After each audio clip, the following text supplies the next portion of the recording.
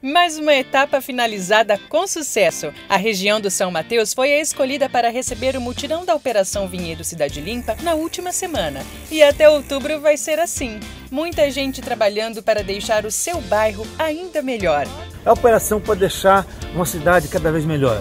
Você, você, por favor, dessa região, coloque nesta semana os cacarecos que você tem aí para jogar fora na calçada, coloque agora, porque depois a gente vai passar para outra região você pode ajudar a cuidar da nossa cidade de dinheiro. De 24 a 28 de junho é a vez do Residencial Aquário, Jardim Emília, Jardim Alba e Jardim Alves Nogueira 1 e 2. Essa é a oportunidade para descartar aquele móvel ou entulho que estava guardado aí na sua casa. Aproveite, estamos passando para recolher.